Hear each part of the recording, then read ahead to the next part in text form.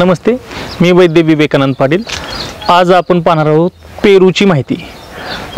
पेरू हा बऱ्याच जणांच्या घरी असतो परंतु पेरूच्या एवढे भूपयोगी आहे हे आपल्याला माहीत नसतं.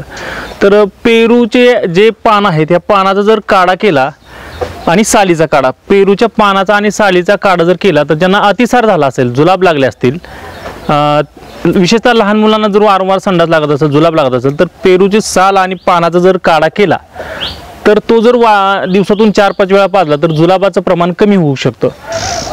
तसंच त्याचा उपयोग जनावरांसाठी सुद्धा. आम्ही गा गा देशी गायना आम्ही काही केमिकल शक्यतो औषध चारत नाहीत. तर त्यांना आम्ही तेच चारतो की पेरूच्या पान आणि सालीचा काढा करून त्यांना पाजतो. तर त्यानं देशी गायचं म्हणजे जनावरचे देखील जुलाब कमी होतात तर माणसाचे नक्कीच होतात जुलाब कमी. दुसरा त्याचा उपयोग जो आहे त्याला बहुबीज म्हणतात. बहुबीज म्हणजे याच्यामध्ये भरपूर बी असतात त्यामुळे त्याला बहुबीज असं दुसरं नाव म्हटलेलं आहे. त्याचा उपयोग जो आहे तो मुलांना वारंवार संडास होऊन जर जुलाब होत असतील जुला जुलाब होऊन किंवा संडासला चिकट जर होत असेल तर ते संडासला हो झाल्यामुळं रेक्टर प्रोलॅप्स नावाचा आजार होतो. म्हणजे स गुदभ्रंश होतो. संडासची जागा बाहेर येते.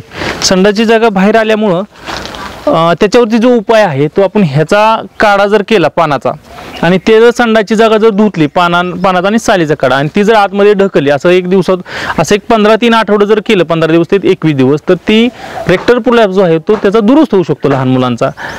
जनावरांच्या बाबतीत देखील बऱ्याच वेळा आम्ही आमच्या दे जनावरात केलेलं आहे. म्हशीचं ज्यावेळेस अंग बाहेर पडलं होतं डिलिव्हरीनंतर तर ते आपण त्याचा काढा करून धुवून घेतला. असं तीन वेळा फक्त केलं होतं. आणि त्याचं सिद्ध तेल म्हणून मिळतं. बहुबीज तेल आपण तयार करतो.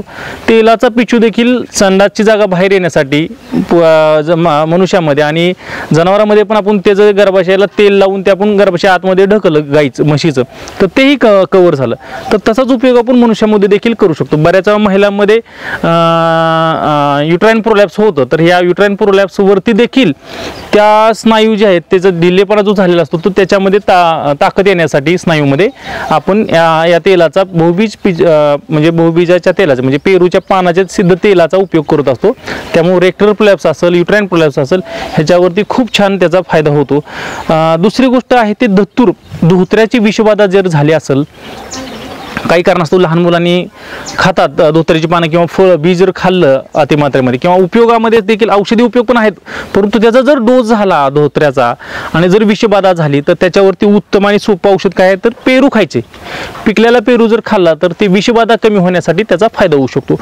दुसरं जे आहे ते हे पेरू जो आहे तो खायचा नाही कुणी हेही सांगणं गरजेचं आहे. ज्यांना सर्दी खोकला होत असेल वारं. म्हणजे कफाचे आजार जर होत असतील तर तुम्ही जर पेरू खाल्ला काही कारणास्तव म्हणजे तुमचे आणखीन काही कुणी काही उपयोग जर सांगितला आणि तुम्ही उपयोग होते म्हणून जर खाल्लं तर तुम्हाला ते कफ होऊ शकतो सर्दी होऊ शकते वाढू शकतो तुमचा. सर्दी आणि खोकला वाढू शकतो. तर त्यामुळे सर्दी आणि खोकला असताना तुम्ही पेरू खायला नाही पाहिजे. त्यानं कफ वाढवणार आहे कारण की कफ करा एक पेरू. तर त्यामुळं त्या लोकांनी पेरू खाणं चुकीचं आहे.